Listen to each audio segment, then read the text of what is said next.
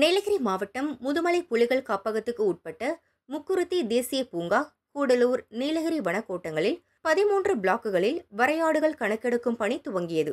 இதில் மூத்த ஆராய்ச்சியாளர்கள் மற்றும் வன ஊழியர்கள் ஈடுபட்டுள்ளனர். வரையாடுகள் எண்ணிக்கை பாலினம் வயதை பதிவு செய்வது வரையாடுகளுக்கு கால் தொடையில் கட்டி தென்பட்டால் அதனை பதிவு செய்வது மற்றும் எச்சத்தை சேகரிக்கும் பணியில் ஊழியர்கள் ஈடுபட்டுள்ளனர். ட்ரோன் மூலம் கண்காணித்து போட்டோ மற்றும் வீடியோ பதிவு செய்யப்படுகிறது.